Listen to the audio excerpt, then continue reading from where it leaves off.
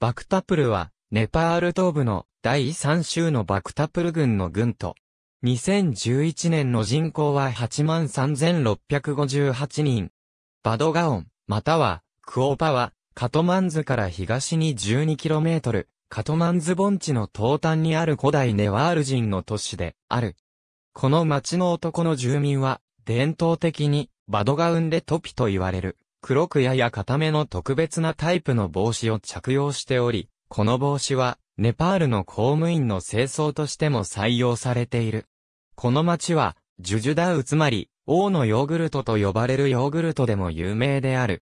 統一マラ朝は1484年に、バクタプル王国からカトマンズ王国が独立し、さらに、1619年までに、パタン王国が独立して三王国時代に入る。町の中心広場、ダルバール広場には55の窓のある、旧王宮がある。これは、ブーパティーンドラマラ王の建てたもので1769年まで、王室一族が居住していた。現在は、国立美術館である。ムールチョーク宮殿に通じる金の門の近くには、タレジュ寺院がある。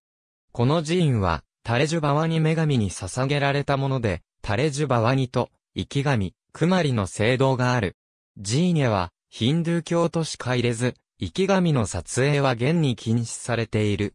遥か昔から、この町は、チベット、中国とインドの間の交易路で利益を得てきた。この主要、キャラバンルートは町を繁栄させてきた。秋になると、チベットからの商人たちが、ヒンドゥー教の祭りの日に合わせて、羊を連れてやってきた。その日、ほとんどのネパール人は、ドゥルガの女神に、オスの動物の生贄を捧げた。その帰りには、商人たちは、チベットに、穀物や砂糖、仏典などを持ち帰った。この繁栄は文化を豊かにした。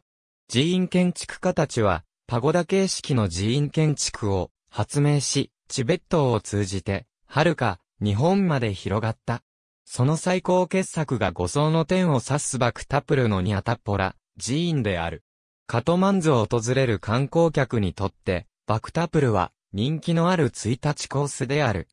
最近では、カトマンズの大気汚染がひどくなってきたので、トレッキングの準備ができるまでバクタプルに数日、滞在する観光客が増加している。ありがとうございます。